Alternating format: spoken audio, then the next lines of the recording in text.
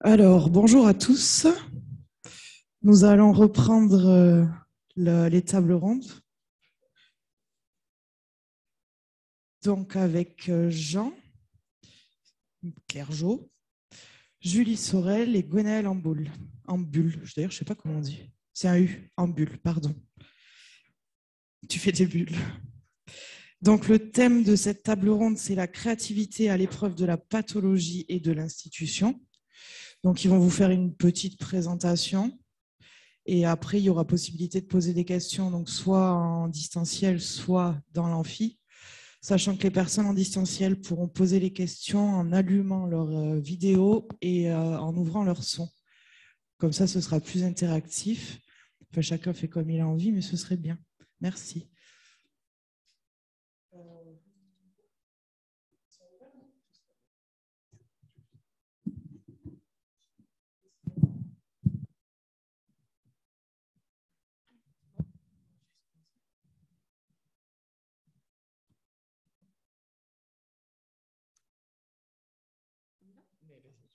Bon, eh bien, bonjour à tous, à toutes.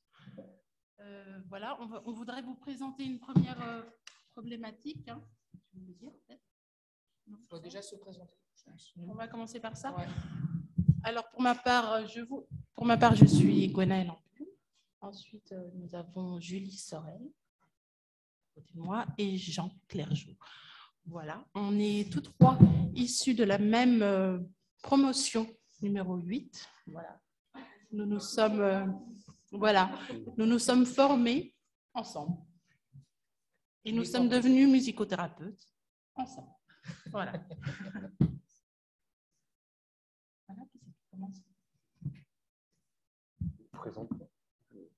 Ok. Alors, euh, pour ma part, je suis musicothérapeute depuis 2019. Je pratique la musique, musicothérapie depuis un an et demi principalement en maison de retraite, dans des EHPAD, à Nantes, auprès d'un public euh, atteint de la maladie d'Alzheimer et d'autres neuroévolutives. Euh, j'interviens dans trois EHPAD et j'ai également pu intervenir dans un CESAD, qui est un service d'éducation spéciale et de soins à domicile. Euh, voilà, auprès de personnes porteurs de troubles du spectre autistique. Alors, mon parcours avant la musicothérapie, j'ai travaillé donc beaucoup dans le milieu social, euh, dans le journalisme, euh, dans la radio et dans l'animation. J'ai une formation de journalisme audiovisuel à la base. Et voilà, j'ai travaillé dans des radios associatives où je pouvais faire de la prise de son, de la numérisation et du montage sonore. J'ai vécu dans trois pays et j'ai fait du social et de l'animation dans trois pays, avec différentes institutions et différents regards. Euh, alors, en Angleterre, j'ai travaillé dans une institution non médicalisée pour personnes euh, TSA. Voilà. là, j'étais animatrice, responsable d'un groupe d'adultes animant des activités telles que les médias et la musique. Après, je suis revenue en France et je suis devenue donc musicothérapeute par la suite des événements.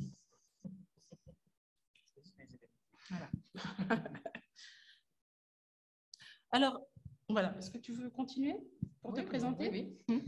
Donc, euh, bah, Julie Sorel, promo 8, diplômée de 2019, voilà, ça vous avez déjà compris. Euh, moi, avant d'être euh, musicothérapeute, j'ai un parcours conservatoire, un bac technique musique, voilà, même avec un bac technique, on peut faire des études supérieures. j'ai commencé un DU de musicien intervenant, et puis après, je suis devenue boulangère, crêpière, voilà j'ai un peu exploré le monde du travail. Et puis, ben, ça rapportait pas trop. voilà, j'ai eu des entrées euh, dans le monde du soin. Donc, j'ai fait ASH, tout ça. Plutôt en gériatrie, effectivement. Et puis, ben, je me suis dit, infirmière, pourquoi pas? C'est une bonne porte d'entrée pour devenir musicothérapeute, parce que j'avais toujours ça un peu dans un coin de la tête, mais je ne me sentais pas légitime euh, sans passer par le soin. Donc voilà, j'ai fait ma formation en sachant que je travaillais comme infirmière dans un hôpital psychiatrique au nord de Nantes et que du coup, cette formation était concomitante avec la création d'un CATTP, là où je travaillais. Donc, il a fallu que j'y aille. Dès le début de la formation, il fallait que je monte des ateliers autour de la musique pour pouvoir avoir des instruments, des choses comme ça. Et j'y suis toujours. C'est un peu de ça que je vais parler dans ma présentation. Voilà. Et donc, euh, Jean Clergeau, diplômé donc aussi de 2019. Euh, je ne suis pas euh, soignant à l'origine, hein, mais je travaille en lien avec la musique depuis une vingtaine d'années.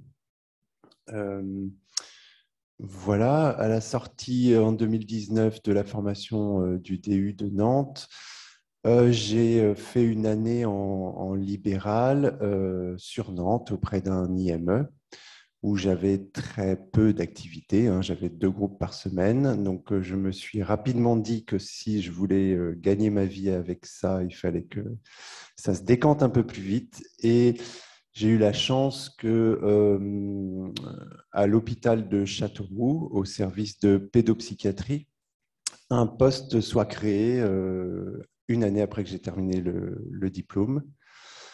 Donc, euh, j'ai saisi l'occasion et j'ai quitté Nantes pour, euh, pour m'installer euh, à Châteauroux. Donc, j'exerce depuis maintenant un an et demi à temps complet sur un poste de, musicothérapie,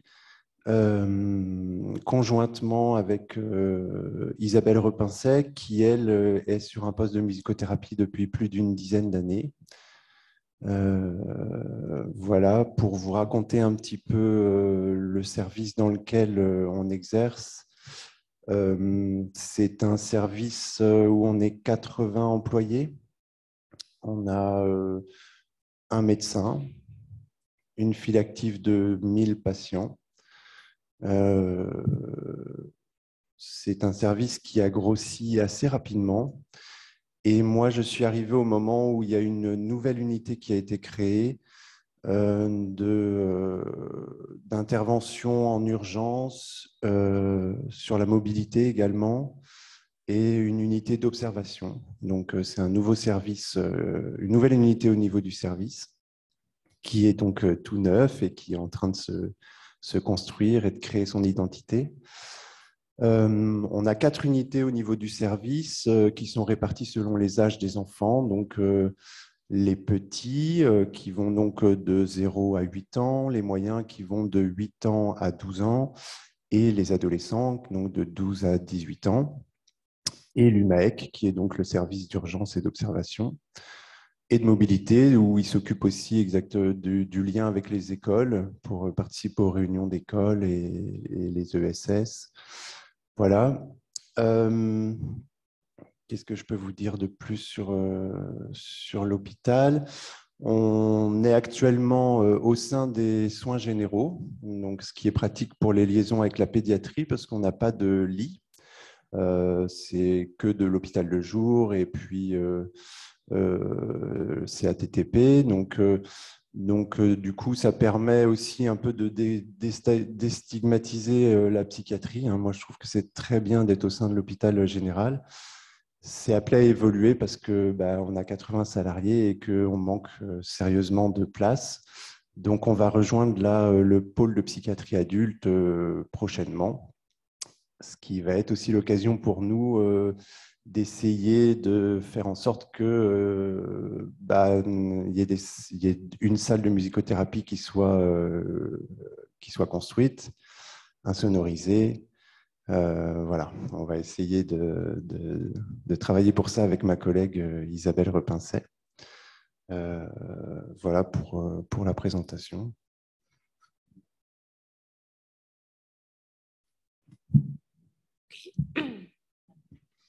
Donc, euh, moi, je vais vous parler un peu de l'institution dans laquelle euh, je travaille principalement, c'est-à-dire euh, toutes les semaines, une demi-journée par semaine. je travaille également dans d'autres institutions des EHPAD, mais voilà, je me suis arrêtée sur, celle-ci. C'est là où je reviens chaque semaine. Je fais trois heures, trois groupes. Et donc, j'interviens auprès de, personnes qui sont à une avancée différente du stade de la maladie. Donc, il y a un premier groupe qui se trouve au PASA, qui est le pôle d'activité des soins adaptés, auprès de personnes souffrant de la maladie d'Alzheimer à un stade modéré, on va dire. Ce groupe est plutôt fermé. Il y a toujours euh, des absents ou euh, un changement d'organisation à la dernière minute euh, lié à l'établissement ou alors des visites des membres de la famille. Il y a un deuxième groupe également où le service est sécurisé et où la maladie de l'Alzheimer est à un stade avancé. les troubles neurodégénératifs sont importants il y a de la perte de la mémoire, des troubles cognitifs, de la déambulation, euh, des troubles du comportement pour certains, euh, moins d'initiative à, la pensée, une capacité à l'inhibition, voilà, une communication verbale plus difficile, on va dire.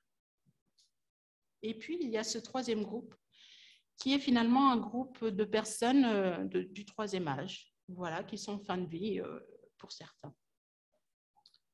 Voilà. Euh, les objectifs de ces différents groupes varient, bien entendu, et je n'utilise pas les mêmes outils ou instruments ou instruments sonores. Euh, voilà. C'est en général toujours une approche thérapeutique systémique avec un renforcement de l'autonomie, euh, une invitation à la création et bien sûr, on travaille sur le maintien des acquis cognitifs.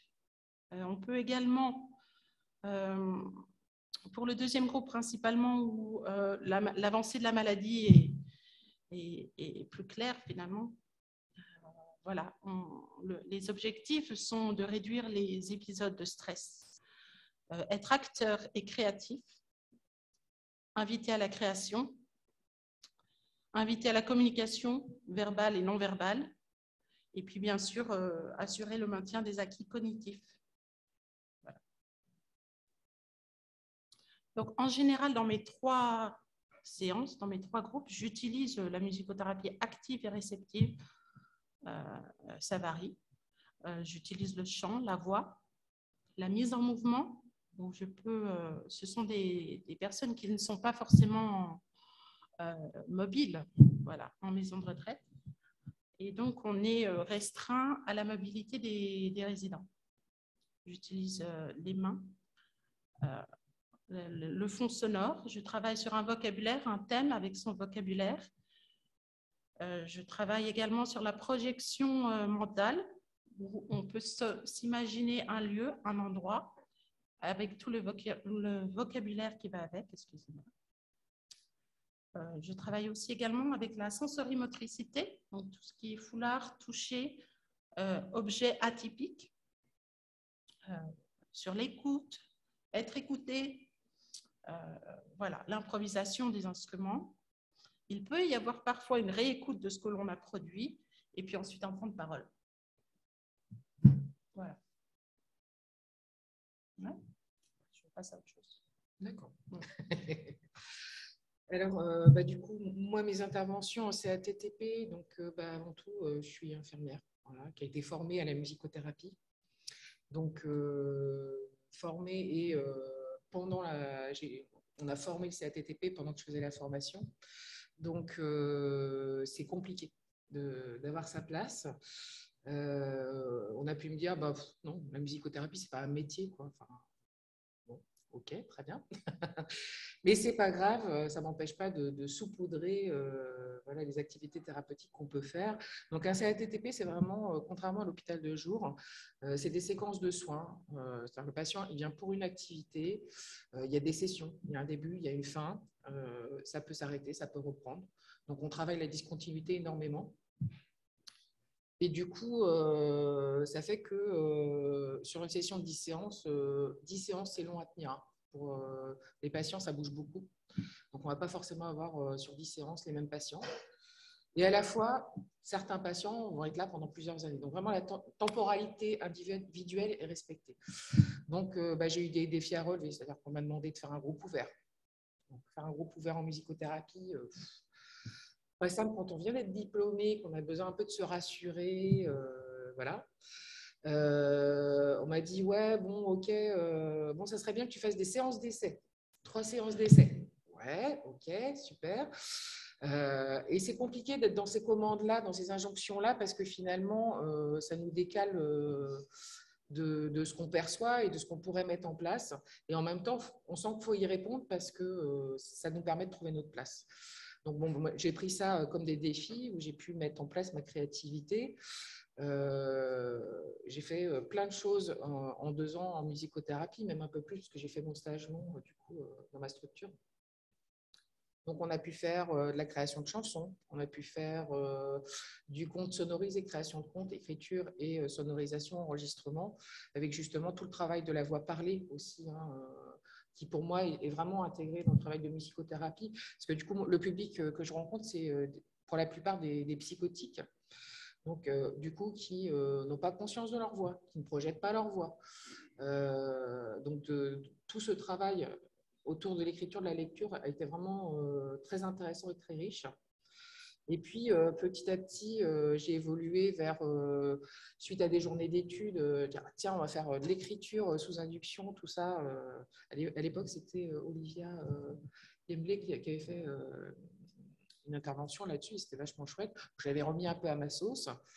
Donc, on a pu faire des petits livrets d'écriture sous induction musicale. Et puis, du coup, après, il relisait sur la musique. Et au niveau du rythme de la lecture, il se passait plein de choses vraiment très, très riches. Donc, voilà, en fait, j'adaptais à chaque fois les outils entre moi, les apports que j'avais pu avoir et euh, les besoins des patients que je rencontrais. Euh, aujourd'hui, euh, la commande a évolué encore. Covid oblige. Donc, sur l'hôpital, bah, plus droit de chanter parce qu'on a eu un cluster sur un groupe chant. plus droit de danser, hein, parce que voilà, c'est pas, il n'y a pas droit. Port du masque, bien sûr. Euh, donc, on est bien obligé de faire avec tout ça. Les instruments avant, euh, moi, je suis corniste d'origine. Donc, enfin, voilà, le, souffle, se fait au travers de la voix, mais aussi les instruments avant sont intéressants. Donc là, on a rangé tout l'instrumentarium et puis bah, on est reparti voilà, avec la voix, alors chanter plus ou moins. Ne faut pas le dire, mais ils ont chanté quand même. Euh, ne faut pas le dire, ils ont bougé quand même hein, sur la musique parce que je travaille aussi beaucoup sur euh, bah, écoutez votre corps, qu'est-ce qu'il a envie de faire votre corps? Voilà, on écoute de la musique, puis du coup ça amène de la décharge, euh, ça fait du bien. Et du coup, j'ai pris deux orientations. Il y a un, groupe qui va être plus sur le, travail sur le processus créatif que le patient peut mettre en œuvre. Donc, on va expérimenter beaucoup de choses à travers de petits ateliers, etc., jusqu'à ce qu'émerge à un moment donné euh, une envie de création.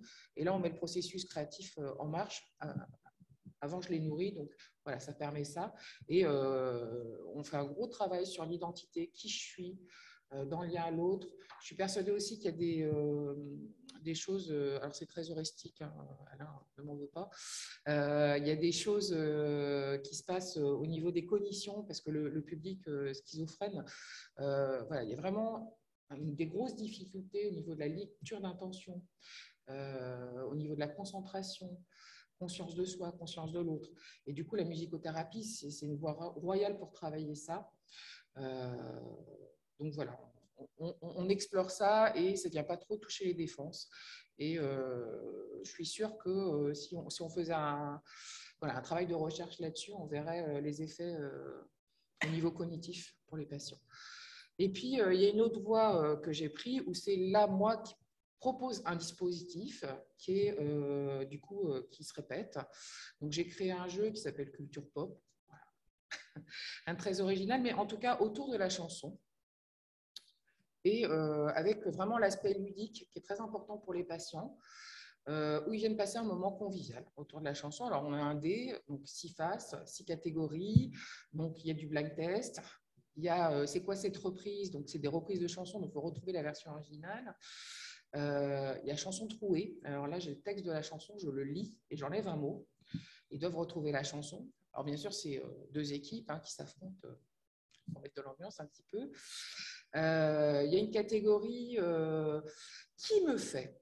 Alors, euh, du coup, quand il tombe sur là-dessus, c'est qu'il doit trouver une chanson qui me fait, euh, qui me fait chanter, qui me fait taper du pied, euh, qui me fait pleurer. Voilà. Donc, on va explorer la question de l'émotion et voilà, du partage de, ce que peut faire la chanson bref, il y a six catégories et du coup, on va aller travailler différents aspects et à la fois la communication dans le groupe parce qu'ils doivent répondre en groupe. Alors là, c'est tout, euh, tout, un challenge. Moi, je sais, moi, je sais. Eh oui, non. D'abord, vous vous concertez. Donc là, ma co-thérapeute a un gros travail de médiation, de les aider à échanger et à partager. Et voilà, ils sont très friands de cet espace-là, mais où ils travaillent plein de choses. Grosso modo. Voilà comme on est dans une configuration de table ronde, on n'est pas sur une conférence, donc euh, n'hésitez pas à faire part de, vos expériences aussi euh, voilà, au, cours de, la table ronde. Hein. on est là pour ça, pour échanger ensemble. Euh, on avait pensé cette, cette, table ronde dans l'idée de la créativité à l'épreuve de la pathologie et de l'institution. il y a il y, a, beaucoup de portes d'entrée à cette question qui est quand même euh, très, très vaste. Euh, moi, je pense euh, au métacadre, je pense à l'organisation institutionnelle. qu'est-ce qu'elle propose aux patients? Et qu'est-ce qu'elle impose sur la enfin, le processus créatif? Je trouve que c'est très important parce qu'en fait, euh, dans le service dans lequel je suis, euh, c'est très, très sectorisé. en fait, il y a un programme de soins qui est individuel, qui est individuel hein, mais il y a une organisation temporelle voilà, qui, qui, a été décidée avec des durées de séance. C'est trois quarts d'heure en individuel, c'est une heure en groupe. Euh, donc, euh, donc voilà, déjà ça, ça cadre, euh, ça cadre plutôt, plutôt les séances. quel type d'enfant a besoin d'un temps individuel? Quel type d'enfant a plus besoin de travailler en groupe? Donc ça, pour ça, on bénéficie des indications des psychologues principalement, certaines indications aussi du médecin. Et euh, aussi, on bénéficie euh, en tant que spécialiste du bilan euh, psychomusical qui nous permet, nous aussi, de, décider ce qui, ce qui, peut être le mieux à proposer aux patients. il y a une autre donnée temporelle qui est à prendre en compte, qui est pour moi plus, c'est la durée de la prise en soin. combien de temps est-ce qu'on va proposer du soin à un enfant? Quand je suis arrivé dans le service, euh, il y a une habitude qui été prise, c'est-à-dire qu'il y a les journées de programmation, les semaines de programmation qui ont lieu euh, au mois de juin tous les ans. Euh, donc généralement, quand un soin est proposé à un enfant, ça peut durer toute l'année pour lui. ça peut être rectifié lors des réunions d'équipe. Chaque unité a trois heures de réunion par semaine. Donc, euh, il y a la possibilité de, rectifier le programme de soins euh, et de s'adapter en fonction de, la réaction des patients. Mais on se rend compte que dans, euh, dans l'organisation institutionnelle, il y, a, des fois où c'est assez difficile et le nombre de séances ne sont pas limitées. Donc moi, quand je suis arrivé, j'étais un peu surpris aussi. J'avais un peu besoin de sécurité par rapport à ça parce que euh, en libéral, euh, je vendais 10 séances de musicothérapie. Donc, il y avait un début, une fin, avec un process que j'avais euh, que j'avais réfléchi par avance. Là, je suis beaucoup plus enclin à l'improvisation clinique, hein, puisque les prises en soins, là, par exemple, il y a des enfants que je suis depuis deux ans. C'est possible qu'on continue encore l'année prochaine. Moi, je me pose la question de l'épuisement de ma propre créativité. Euh, qu'est-ce que je peux lui proposer au bout de deux ans? Euh, Moi qui commence tout juste euh, la carrière de musicothérapeute,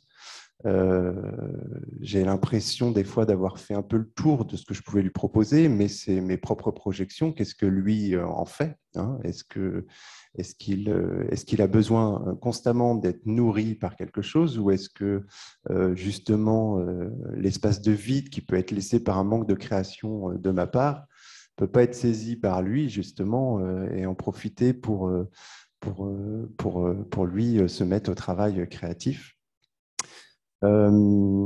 L'organisation structurelle aussi, je trouve, est importante quand on est sur un travail individuel ou un travail de groupe. on n'est pas du tout dans, les mêmes réalités. J'avais essayé euh, de, proposer euh, un nombre de séances euh, limitées, c'est-à-dire lors des, programmations de l'année dernière, j'avais proposé de monter un groupe sur un travail autour du langage, langage musical, voilà, et avec des enfants qui avaient un trouble du langage aussi. Et j'avais dit que euh, je faisais 10 séances et que j'avisais. Puis j'ai été pris dans le, dans le flux de l'institution et je n'ai pas eu euh, le temps euh, de, de, réfléchir à si je devais continuer ou pas. Il faut dire aussi que ce groupe marchait plutôt bien et j'ai décidé de, de continuer. voilà. J'ai noté quelques petites questions. C'est la place de la créativité, comment, euh, comment la saisir pour accompagner au plus juste euh, les patients? Est-ce qu'on peut penser la créativité euh, séparément de la pathologie de l'enfant?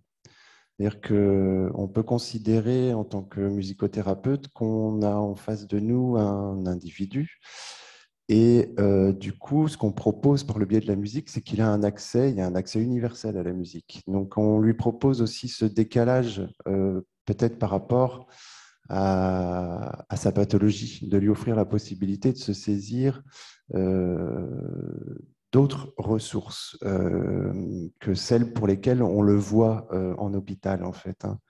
il y a aussi euh, qu'est-ce qu'on fait de la pathologie dans ce cas-là? Parce qu'il est quand même dans un.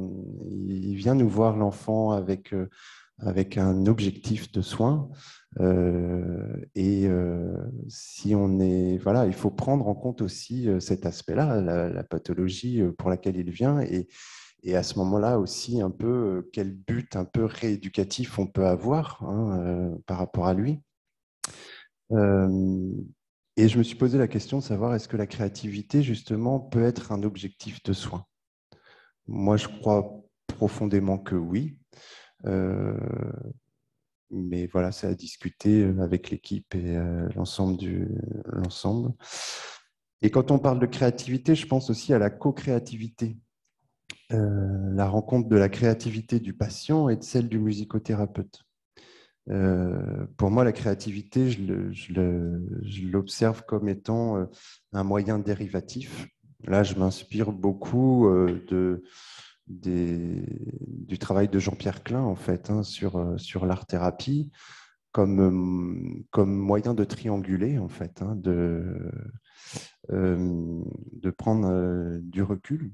je me pose la question aussi dans ma pratique de la place de l'induction euh, comment est-ce que, euh, avec l'induction, on peut euh, venir répondre à un objectif de nourrissage qui peut être important?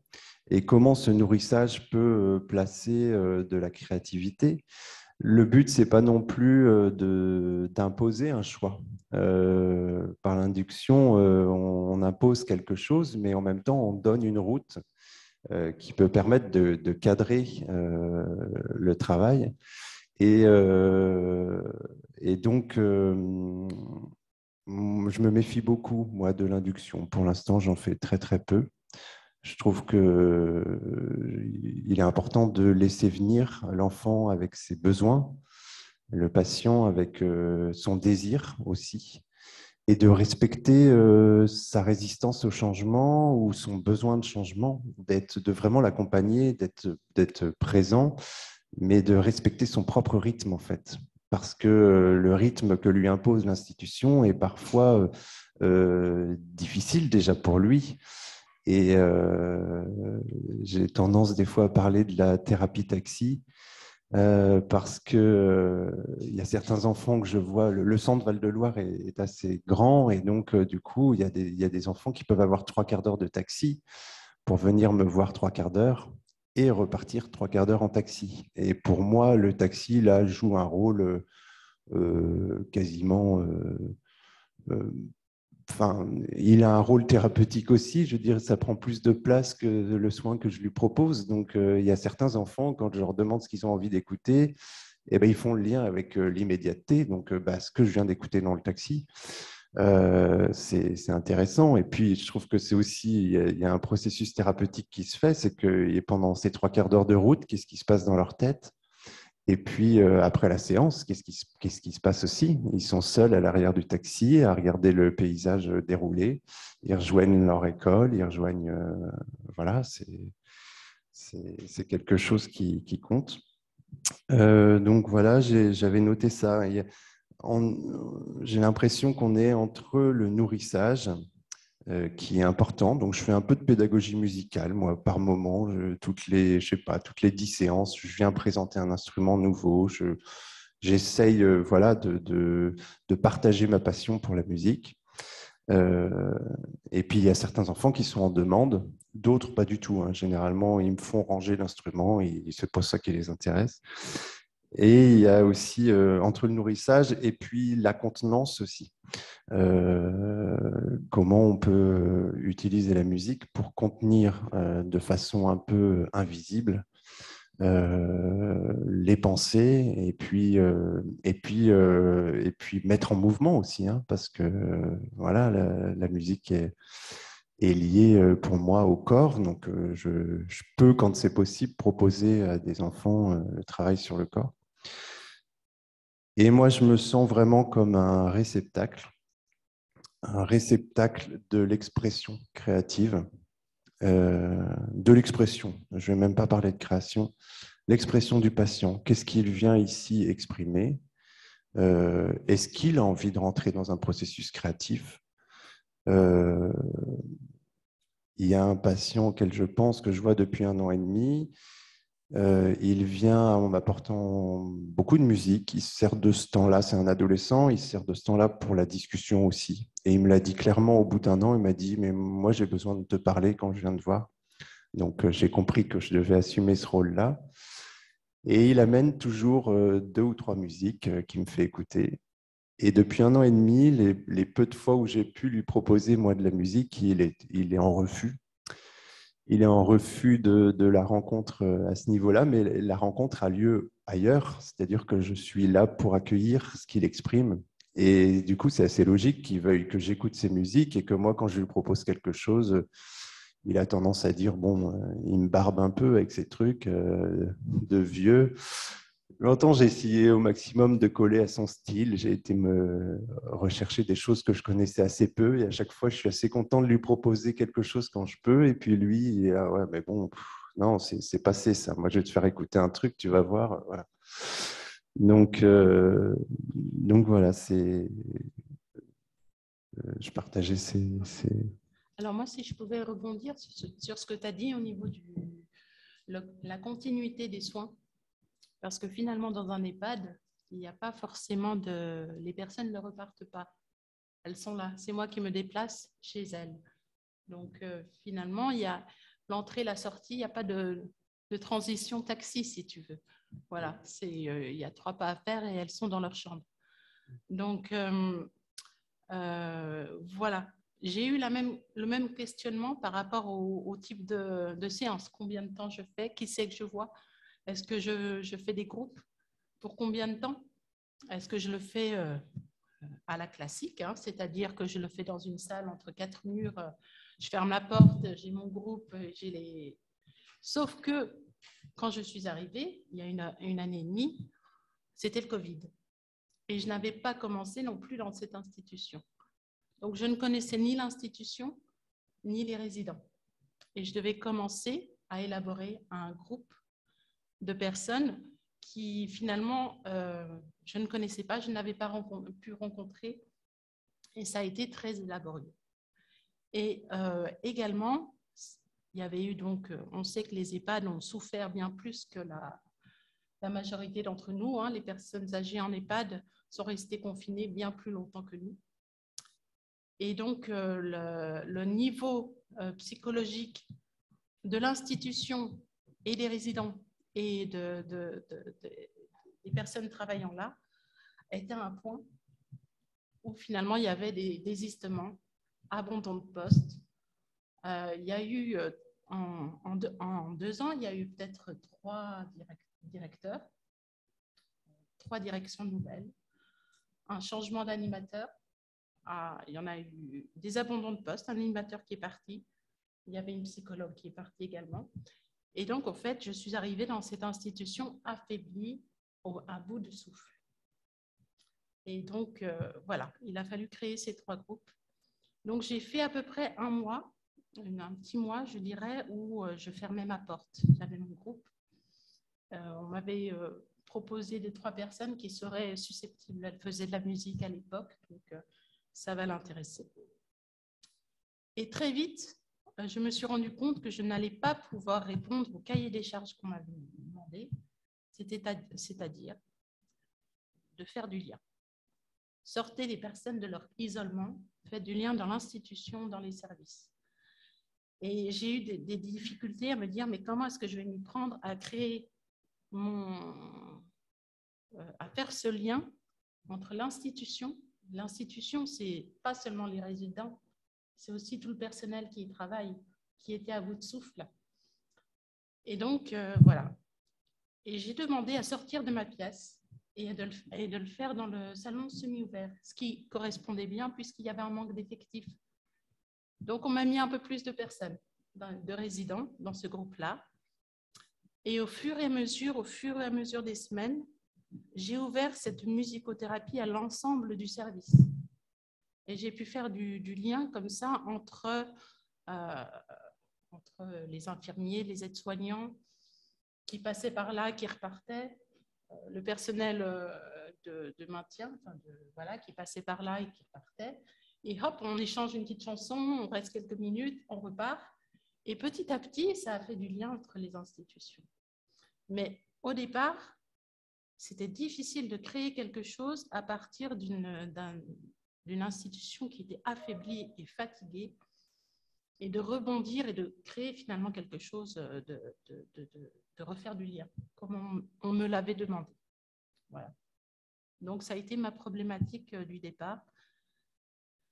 Euh, il fallait sortir des conventions que toute jeune musicothérapeute, on m'avait appris plein de choses, et que finalement ce Covid a bouleversé pas mal de choses et qu'il a fallu se réinventer se réinventer, euh, réinventer son poste, son statut et le transformer face à cette institution affaiblie. Voilà. C'est ce que je voulais dire. Julie, je ne sais pas. Je sais pas, peut-être vous avez des questions aussi. Euh. Des remarques, des questions dans l'amphi, sur Internet, peut-être?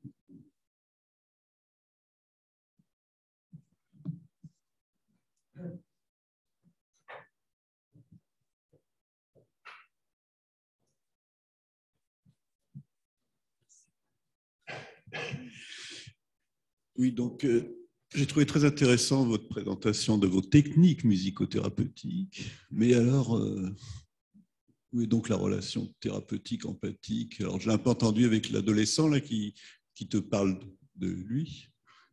Euh, donc là, on, on, sent le film. Alors oui, c'est ça en fait. Bon, vous, et l'institution, c'est aussi une instance qui va être demandeuse aussi de, techniques musicothérapeutiques parce que c'est repérable, c'est compréhensible. Donc, vous êtes pris là dans une demande, évidemment. Alors que nous, notre offre, c'est à la fois évidemment bah oui, de connaître notre métier de musicothérapeute, mais aussi de travailler sur cette relation thérapeutique sans, laquelle il n'y a, a, a pas de changement, il n'y a pas de création au sens de, créer sa personne, surtout avec des enfants et des adolescents. Euh, donc c'est évidemment ma, ma, remarque que vous en doutiez. Pour, euh, oui, je comprends la question sur le, le travail, euh, sur la relation. Je me fie beaucoup, moi, aux fiches de pilotage qui sont faites par les psychologues. Euh, les indications thérapeutiques qu'elles font de manière euh, globale, euh, que ce soit pour les groupes de spécialistes, c'est-à-dire, j'ai oublié de vous dire, oui, on est quatre psychomotriciens, un ergothérapeute et deux musicothérapeutes et une art thérapeute qui vient d'arriver. Donc, c'est assez étonnant de voir comment les psychologues doivent jongler aussi avec les indications qu'elles font pour les spécialistes et les indications qu'elles font pour les infirmiers et éducateurs. C'est-à-dire qu'on a tendance, les, cadres, à leur demander Mais qu'est-ce que vous voulez pour cet enfant? Et donc, les psychologues disent ce qu'elles ont pensé, on en discute en équipe, et voilà. Mais là où je suis assez surpris, c'est que souvent, et c'est difficile de faire changer euh, les choses, c'est que ce qui m'est demandé, moi, c'est de relaxer les patients. Euh, on me demande de. Bah, la musicothérapie, c'est fait pour adoucir les mœurs. Donc, euh, on est en pédopsychiatrie avec beaucoup de beaucoup d'hyperactivité, de, donc on me demande de, de calmer. Et moi, j'explique qu'avant de calmer, il faut que je sache ce qui les calme, en fait. Euh, euh, donc, euh, donc, je dis que d'abord, la priorité, c'est que je, puisse entrer en relation avec lui, qu'on puisse se connaître, en fait. c'est la base de, de, de mon travail. Et c'est difficile de le faire admettre parce que j'ai l'impression qu'ils attendraient de moi, ou est-ce que c'est moi qui projette sur leurs attentes Mais que euh, j'ai un protocole et que je fasse de la musicothérapie réceptive et que je passe de la musique classique et qu'il soit allongé. Et puis, euh, et puis voilà. Moi, je n'ai jamais fait ça. je vais de, de, temps en temps un peu chercher du côté des fréquences, du côté de la sonothérapie, mais je considère que ce n'est pas, pas mon métier, ce n'est pas mon fer de lance en tout cas. Donc, je place la relation comme étant première, en fait. Euh, euh, je ne vais, pas détendre euh, un enfant qui écoute du hip-hop très violent en lui passant des musiques de petits oiseaux. quoi. c'est pas possible, je vais faire l'effet inverse même. Donc, si ce qui le détend, c'est de pouvoir exprimer dans ce lieu particulier qu'est la salle de musicothérapie cette violence-là euh, contenue et qu'il sorte de la séance détendue, tant mieux pour lui. Par contre, qu'est-ce que l'institution comprend de ça? Parce que, comme je disais tout à l'heure, on n'a pas de salle insonorisée. Entre nos deux salles de musicothérapie, il y a la salle des dossiers et en face de nous, on a euh, le bureau du médecin.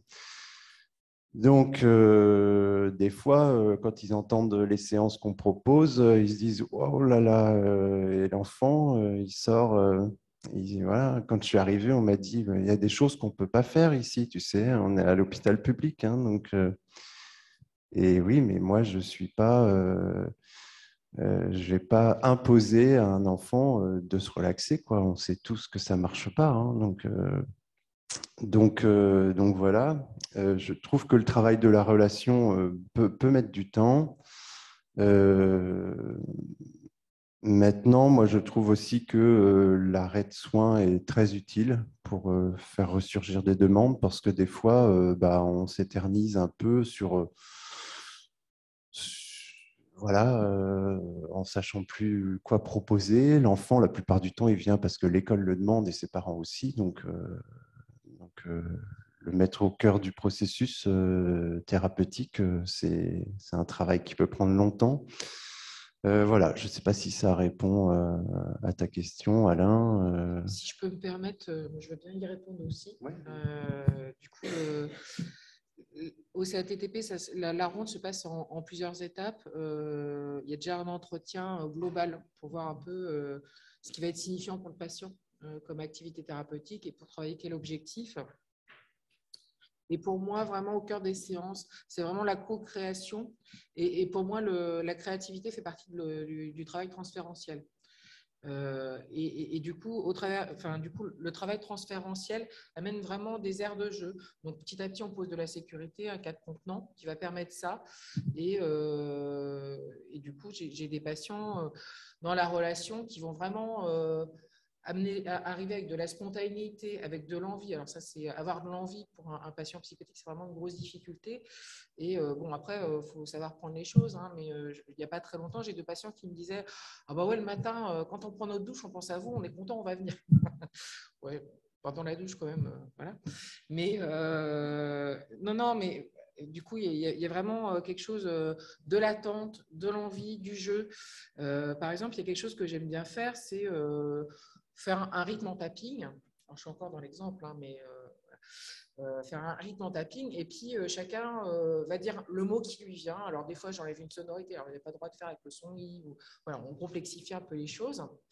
Et puis là, je commence, je commence à chercher un rythme, et j'ai le patient hop, qui reprend et qui crée un autre rythme.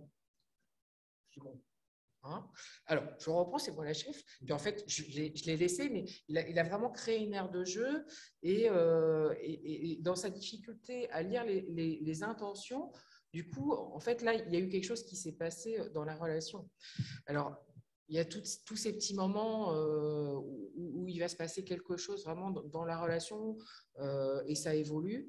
Et puis, il y a aussi les temps de de, reprise. Alors, il y a la reprise d'activité. Il y a quand on fait les, transmissions, là, on prend un temps pour voir un peu ce qui s'est passé dans la séance. Euh, dans le relationnel, ça fait aussi partie pour moi euh, euh, de, la relation. Et aussi, on, a un, psychiatre qui intervient sept fois par an pour toute l'activité CATTP, mais c'est un espace aussi où on peut débriefer et analyser la relation. Je pense aussi à autre chose. C'est une jeune fille que je vois depuis, euh, depuis deux ans aussi, euh, qui a un profil abandonnique, hein, qui, vit, euh, qui vit en foyer. Et quand elle vient, quand elle vient en fait au SPIGE, elle, a des phases par lesquelles elle passe où elle est beaucoup dans la scarification, dans l'automutilation. Et quand elle vient au SPIGE, en fait, les soins qui lui sont proposés souvent sont pour euh, l'accompagner dans cette souffrance-là et pour lui, pour l'aider aussi sur son comportement, parce qu'elle a des comportements qui ne sont pas socialement euh, appropriés.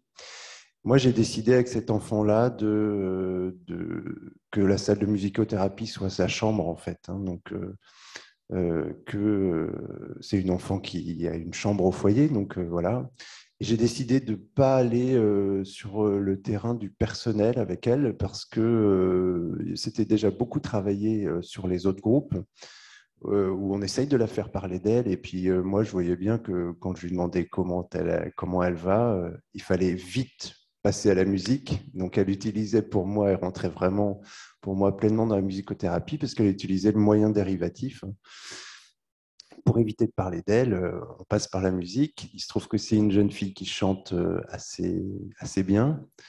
Et j'ai décidé, moi, de, l'accueillir sans lui demander rien.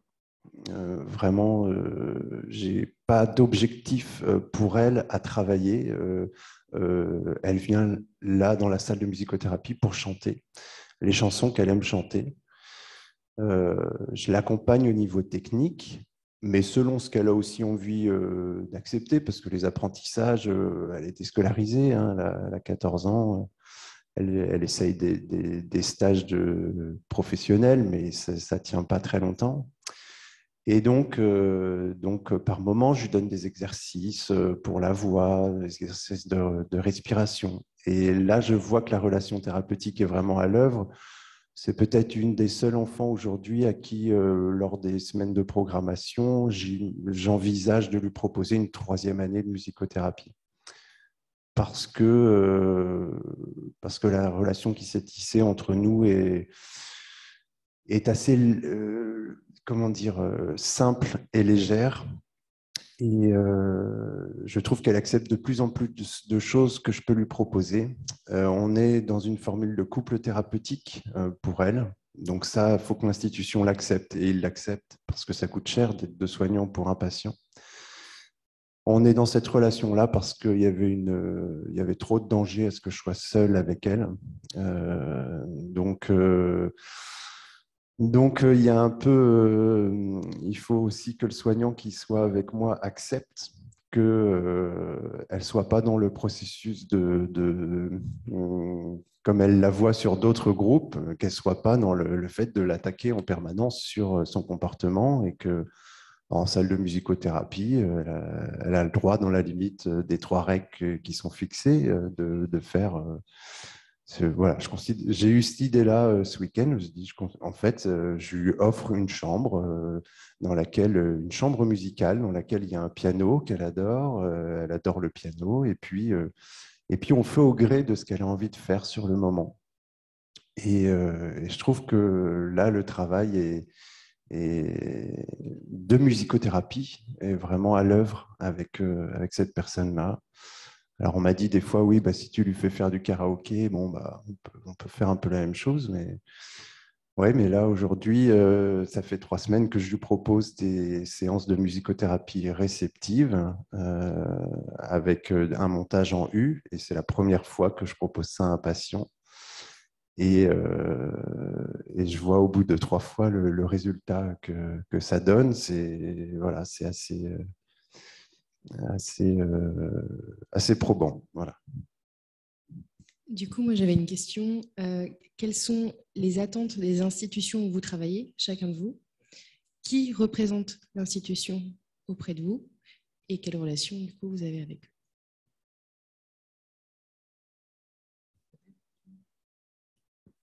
Alors, la première qui était? Les attentes de l'institution. Oui qui, euh, qui représente l'institution auprès de vous et la relation que vous avez avec eux? Alors, les attentes euh, varient d'une institution à l'autre, pour moi en tout cas. Euh, je n'ai pas la même, je n'interviens pas de la même manière dans différents EHPAD. les objectifs sont différents. on me demande autre chose à chaque fois dans chaque établissement. donc, dans, dans, dans ce premier-là où je fais trois heures par semaine, aujourd'hui, les objectifs ont, ont différé que quand j'ai commencé. Hein. Ce n'était pas les mêmes objectifs qu'il y a une année et demie après le Covid.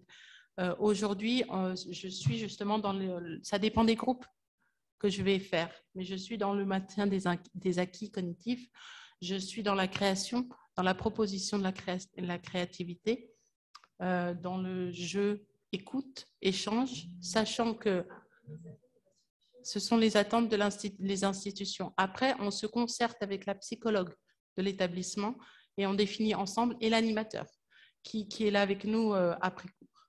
Euh, voilà, et on, c'est par groupe, c'est pas par personne. Moi, je travaille vraiment avec des groupes de personnes.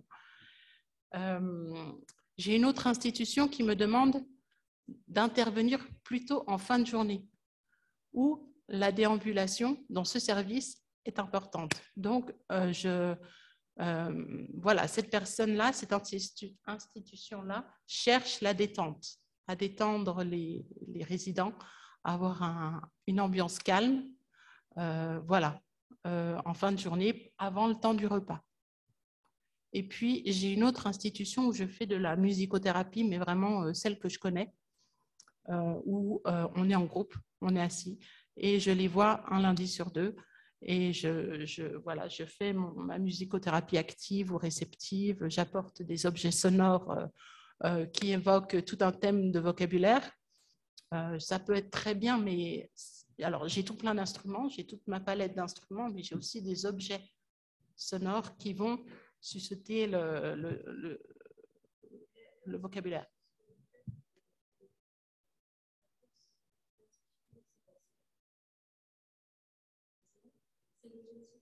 Alors, bon.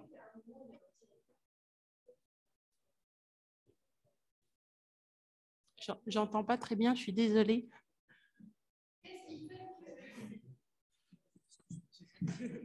Qu'est-ce qui fait qu'à un moment, il y, a, un directeur qui met l'argent sur la table en disant bah, Ok, je, salarie un, musicothérapeute euh, pour. Euh, enfin voilà, c'est les attentes de l'institution. C'est vraiment ma question c'est euh, qu'est-ce qui, qu'est-ce qui fait qu'il justifie parce que eux aussi justifient à des associations, à, des, un financement par rapport à, un poste de musicothérapeute. Donc, les attentes, enfin, du, coup, c'est vraiment les attentes de.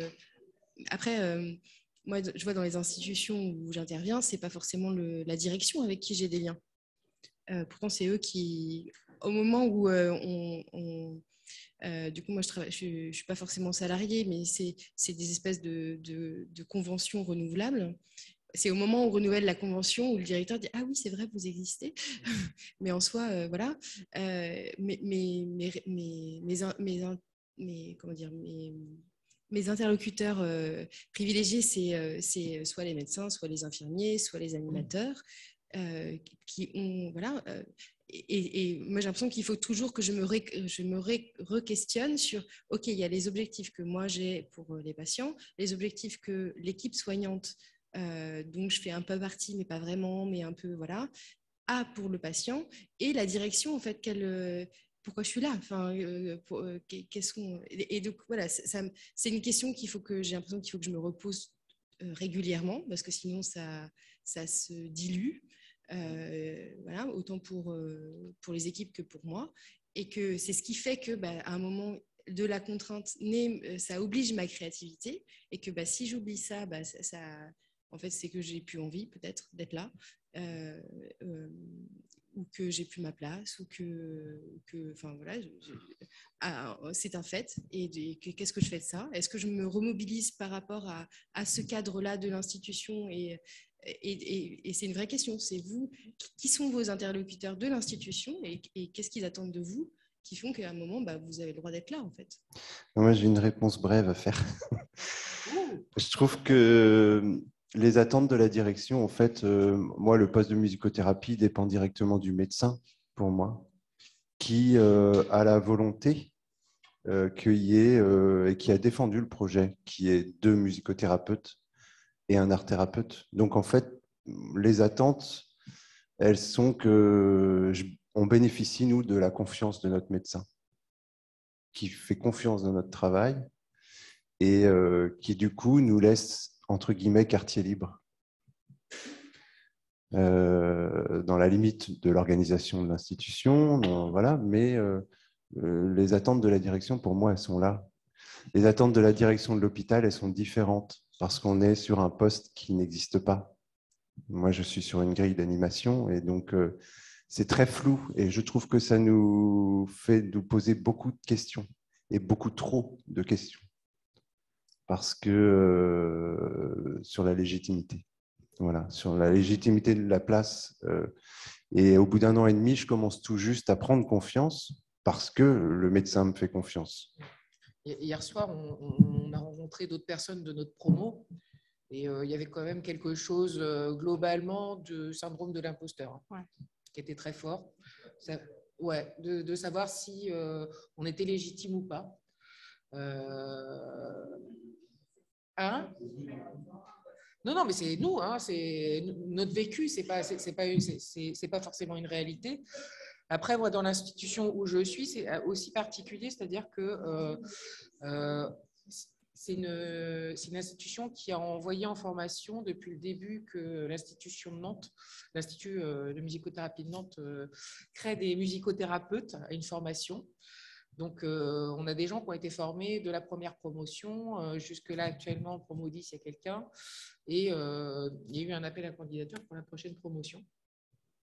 On est cinq musicothérapeutes en activité formés sur l'établissement, ce qui est énorme. Non, alors, euh, voilà, on est cinq musicothérapeutes formés. Voilà. Donc, infirmiers, ouais, c'est les infirmiers qui vont se former. Euh, après, il n'y a euh, aucune attente, aucune commande. Vous êtes formés, c'est bien. Je serais parti faire trois jours de pâte à modeler en Vendée, c'était pareil. Hein. Voilà. Et en plus, il y a une pénurie d'infirmiers, donc euh, ils ne veulent pas trop entendre euh, la question vous êtes musicothérapeute. donc c'est très compliqué. Donc là, actuellement, avant le Covid, j'avais commencé à, travailler avec les musicothérapeutes qui étaient en place, à créer un projet pour faire exister la musicothérapie sur l'établissement, parce qu'on est quand même une force. cinq musicothérapeutes, ça veut dire autant d'instrumentarium. Euh, voilà, autant de possibilités d'ouverture de créativité. Et euh, en fait, euh, le Covid a fait que, et la mobilité, parce qu'on est aussi avec la mobilité infirmière. Donc, ça veut dire que tous les cinq ans, il faut qu'on change de poste. et du coup, il y a tout à retravailler, à reprendre à zéro sur un projet, la place de la musicothérapie. C'est c'est ça euh, Je sais plus, euh, c'est Atlas qui montait ça. c'est un peu euh, compliqué. Alors là, il y a quand même des perspectives. On, vient de changer de directrice des soins. Donc voilà, il faut qu'on se rencontre, il faut qu'on en parle. il y a quand même la musicothérapie fait partie. dans l'établissement, on a une sensibilisation à la musicothérapie ouverte aux médecins, etc., pour pouvoir communiquer. Il y a tout à faire clairement, il y a tout à faire. Non, non, mais euh, voilà. Et, pourtant, depuis le début, il y a des gens qui, sont, euh, qui ont été très investis. Je pense à Philippe euh, Valade, mmh. qui a participé du coup à la comment à l'écriture du référentiel métier. il fait partie des gens qui ont été formés dans les premières promotions. Je crois qu'il était promo 2, voilà, et qui est parti à la retraite là depuis. Mais il y a des gens qui se sont épuisés déjà dans l'établissement pour essayer de faire vivre ça. Donc, autant vous dire qu'avoir un temps repéré musicothérapie, euh, j'ai un autre collègue qui a essayé, euh, on lui a dit bah, non, vous êtes infirmier. Hein. donc, euh, donc voilà, c'est un combat. Mais alors moi, pour répondre à cette question-là, c'est que j'ai quand même passé un certain temps à faire du démarchage. Je suis, je suis auto-entrepreneur. Donc, du coup, il a fallu que je passe plusieurs mois à faire, à envoyer une vingtaine de lettres, enfin d'enveloppes, voilà. Et c'est donc ces établissements-là qui me contactent. Et, et, après, donc, je, qui me, voilà, qui sont intéressés ou pas. Par rapport aux objectifs que tu proposes, peut-être. Par rapport aux objectifs que je propose, oui, c'est ça. Mais euh, euh, voilà, je pense que, et puis, ça marchait bien, donc je suis passée deux heures à trois heures euh, par semaine, et puis, et puis voilà. Avec la nouvelle direction, on se pose toujours la question si quelle place la musicothérapie va-t-elle euh, avoir dans l'institution Et c'est toujours un peu euh, voilà, tangent. Et puis on est rassuré après, quoi. Mais voilà, c'est pas forcément évident. Alors on nous dit qu'il y a des questions sur Internet. Oui, donc il y a Justine qui va nous poser une question. Elle peut allumer son micro et peut-être sa vidéo. Oui, Bonjour, merci de me donner la parole. Je suis surexposée parce qu'il fait beau, mais comme ça, vous, voyez un peu ma tête. Euh, donc déjà, merci pour euh, cette table ronde. Je suis salariée euh, en hôpital psychiatrique et ça résonne beaucoup. Je me rends compte du coup de tout le travail institutionnel à faire, mais aussi ma chance parce que voilà, dans mon service, la musicothérapie, elle est là depuis le début et il y a des choses qui ne se questionnent pas. Euh, je voulais vous demander si vous aviez eu l'occasion ou l'envie ou la demande euh, de proposer des séances didactiques ou de découverte à vos collègues dans l'équipe pour qu'ils se rendent compte en fait un petit peu de ce qui se passe derrière nos portes fermées. Euh, voilà, est-ce que vous aviez eu cette occasion-là? Et notamment, je pose cette question par rapport à tout ce qui est représentation un peu fantasmée de la musicothérapie. Comme vous le disiez, bah voilà, il y a des choses qui ne se font pas. Et dès qu'il va y avoir un peu une intensité sonore, bah, voilà, peut-être qu'on va venir faire un peu trop de bruit pour notre service, mais parce qu'ils ne savent pas ce qu'on fait. Et euh, voilà, je voulais avoir votre retour par rapport à ça. Merci. Alors, merci pour euh, votre question. Moi, quand je suis arrivé, on m'a demandé de présenter la musicothérapie à l'équipe. J'étais ravi de le faire. L'équipe était un peu moins ravie de m'entendre. Euh, je veux dire, faut qu'il y ait une demande aussi. On ne peut pas imposer euh, à une équipe euh, qui n'a pas envie de savoir ce qu'on fait. Euh, voilà. On a un temps de journal institutionnel où ça pourrait être utile, parce que j'aimerais savoir ce qu'ils travaillent en cuisine, par exemple, mais on n'est pas issus des mêmes formations. Ils n'ont pas forcément envie d'analyser ce qu'ils font non plus. Donc, on ne peut pas forcer des portes non plus. on peut le faire s'il y a une demande pour moi. Euh, sinon, euh, je considère qu'un kinésithérapeute ne euh, présente pas son travail à une équipe. On lui fait confiance, on sait ce que c'est que la kinésithérapie. Si on veut travailler pour la reconnaissance, on ne doit pas perpétuellement s'excuser du travail qu'on fait. Et, par contre, expliquer la démarche pour démystifier, ça, ça me paraît très important. c'est un travail de longue haleine, euh, vis-à-vis de l'équipe, mais euh, moi je travaille plus euh, vis-à-vis des parents en fait, hein, qui se demandent un bilan de musicothérapie. psychomotricité, on arrive à peu près à voir ce que c'est depuis une dizaine d'années, c'est reconnu, mais musicothérapie. alors, je travaille plus la démystification vis-à-vis de, des parents, vis-à-vis des patients aussi, vis-à-vis de l'équipe. Bah, je joue le rôle des clochettes s'ils ont envie de temps en temps. Euh, ce que je me refuse à faire, c'est de faire des séances de musicothérapie à l'équipe, ça, parce que je ne suis pas là pour ça. ou alors il faut qu'ils me payent plus, mais euh, je ne fais pas de la musicothérapie institutionnelle. Euh, on a de l'analyse des pratiques, euh, on a, on a tout un. Voilà, qui est. Mais pareil, hein, l'analyse des pratiques, je trouve qu'il y a très peu de l'équipe qui, qui s'en saisit parce que bah, n'ont pas appris à s'en saisir non plus. Hein, donc, donc voilà, pour ma part. Moi, pour ma part, c'est euh, en fait, euh, j'ai invité euh, chacun. je crois que j'ai à peu près co-animé, parce qu'on était plus dans la co-animation que la co-thérapie, avec chacun des membres de l'équipe. Il y a des jugements très forts et des, représentations très fortes. J'ai pu, sur une séance, avoir un patient qui a eu besoin de faire le loup. Et du coup, c'est euh, ah ouais, le, truc où on fait le chien, là, on fait les animaux. Euh, c'est tout de suite euh, très péjoratif. Mais bon, ça, je pense qu'à un moment donné, c'est très défensif aussi. Donc, il faut aussi l'accepter. Et à un moment donné, les évolutions des patients font que ça avance et que on fait sa place petit à petit. Pour ma part, je suis d'accord avec ce qui a été dit. Jean, je pense que le plus important, ce sont les résidents euh, pour moi, ce n'est pas forcément les parents, mais c'est plutôt les enfants. Euh, voilà. Euh, la, famille proche, finalement, qui vient. il faut savoir aussi que dans, cet, dans cet EHPAD-là, les, enfants ont créé une, une, association, un groupe d'enfants de, résidents. Et ils ont une parole, finalement, aussi auprès de, la direction. Donc, donc, ils peuvent donner un retour sur ce qu'ils ressentent de l'institution ils se, concertent, voilà. Euh, voilà, que dire? J'espère qu'on a répondu, Justine. Oui, merci beaucoup. Moi, j'ai une question par rapport au fonctionnement euh, à l'intérieur de l'institution, c'est-à-dire comment se fait l'orientation à l'intérieur, et notamment dans les hôpitaux, euh, vous êtes rattaché à l'équipe de soins ou à l'équipe d'activité, euh, est-ce qu'il peut y avoir des considérations différentes de ce côté-là?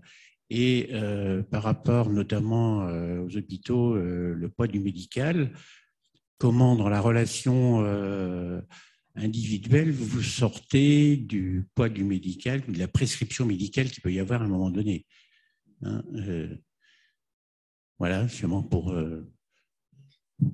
moi, je vais répondre. Déjà, j'ai la chance d'avoir comme médecin-chef une violoniste voilà, euh, qui partage sa passion avec plaisir. Euh, on a la chance aussi, euh, dans la création du CATTP, en fait, d'avoir une vraie confiance de l'institution. Et du coup, la musicothérapie est intégrée parmi les autres activités thérapeutiques. Il n'y a pas d'entretien préalable spécifique musicothérapie, il n'y a pas de bilan spécifique musicothérapie, ça c'est quelque chose qui a évolué au fil du temps. Euh, mais par contre, des objectifs repérés pour orienter. Il n'y a pas de prescription médicale non plus. C'est-à-dire que nous, tous les patients qui viennent au CATTP euh, n'ont pas forcément un suivi médical. Il peut y avoir une orientation de la psychologue qui a un suivi ou de l'infirmier. Tout ce qu'on demande, c'est que ce soit discuté en équipe pluridisciplinaire. Voilà. C'est la même chose pour moi, finalement. Euh, on est en relation avec la psychologue et le, chef médecin. on se réunit de temps en temps, mais il n'y a pas de, prescription claire. Finalement, les objectifs, je les établis, on se met d'accord sur les objectifs. Euh, et, voilà, finalement. Euh, ah oui, si, juste une chose, les orientations sont discutées en réunion clinique, c'est-à-dire en équipe pluridisciplinaire aussi. Nous, on a une place un peu particulière euh, au CH de Châteauroux, c'est que donc on fait partie des spécialistes, donc on se détache clairement de, des équipes de soins.